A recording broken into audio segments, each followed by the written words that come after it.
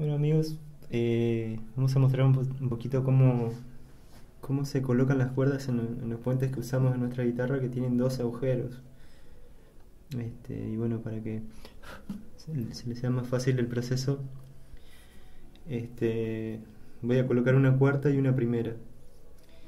Eh, lo que yo hago, que, es la manera más fácil, es eh, ingresar la cuerda desde, desde la parte de la, de la cabeza, digamos. Entonces, eh, aquí ingreso por el agujero que está eh, más cercano a los agudos. Generalmente en, nuestras guitarras el segundo agujero, que es el que traba la cuerda, está un milímetro más alto que el primero, así que eh, es fácil de darse cuenta cuál es el, el agujero principal. Entonces ingresé la cuerda, la saco, la vuelvo a pasar por arriba del bloque y la ingreso otra vez por el, por el segundo agujerito, que es el que, el que les digo que está un poquito más alto que el otro. Y bueno, estaría del lado de los graves. Vuelvo a pasar la cuerda, la saco un poquito y más o menos dejo entre 5 y 3 milímetros eh, una, una- un- una pequeña parte de la cuerda que es la que se traba a sí misma con la con el nudo, ¿no? Queda- debería quedar así la, la cuarta al menos, la cuarta, quinta y sexta. Vamos a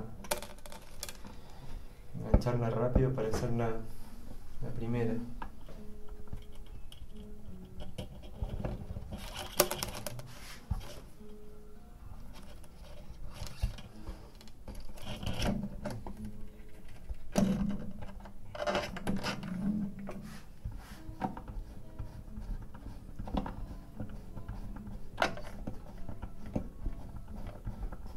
Que quede enganchada ya puedo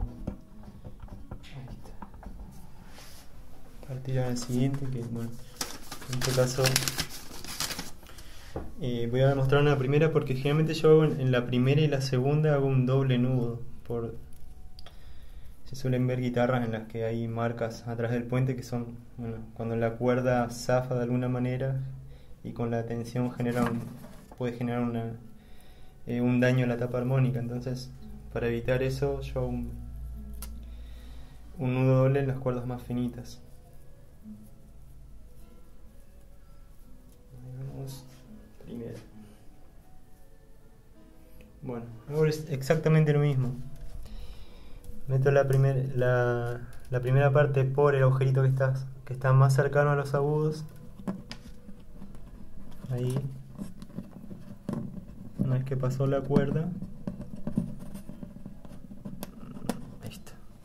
La saco y la vuelvo a pasar por el segundo agujerito que va del lado de los graves, que generalmente, repito, está un poquito más alto que el otro. Entonces lo que hago es saco la cuerda, retiro la cuerda eh, un poquito alejada de la caja. Este, y con un encendedor acerco la cuerda sin, sin quemarla, sin chamuscarla un poquito y verán que es prácticamente la llama azul la que genera una pequeña bolita que, que queda sólida a los pocos segundos ya se puede, se puede tocar, no quema.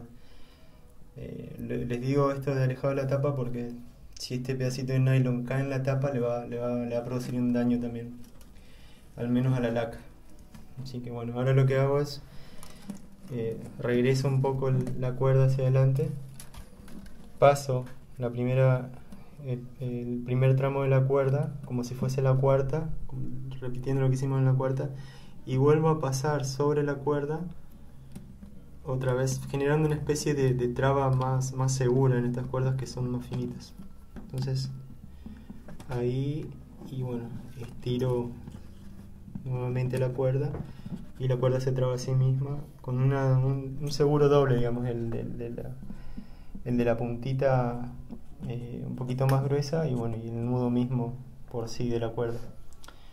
Así que bueno, eso es todo. Esto yo lo hago en la primera y la segunda. El resto de las cuerdas, eh, bueno, en la tercera también se quema la punta, pero bueno, cuarta, quinta y sexta se enganchan a sí misma y al tener el entorchado de, eh, más, más grueso, se traba a sí mismo, así que no hay mayor problema.